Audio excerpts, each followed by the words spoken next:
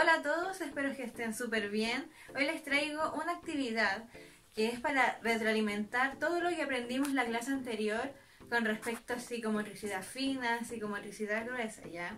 Así que vamos a ver ahora lo que hay que hacer.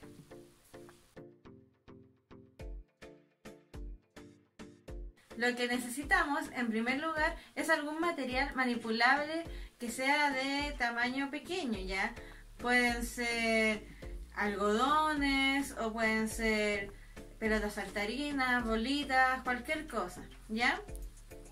Y también necesitan dos recipientes que pueden ser de preferencia de plástico, como vasos plásticos, algún tarro, puede ser alguna lata.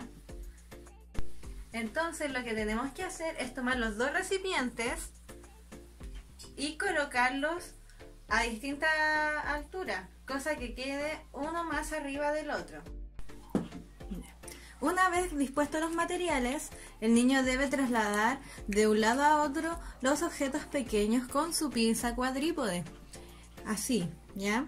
Entonces, así él los mueve hacia otro lado y trabaja su psicomotricidad fina y su agarre cuadrípode para un posterior agarre del lápiz. Y con el que está más arriba va a trabajar la psicomotricidad gruesa al estirarse y al coordinar los movimientos. Espero que les haya gustado y nos vemos en otra actividad.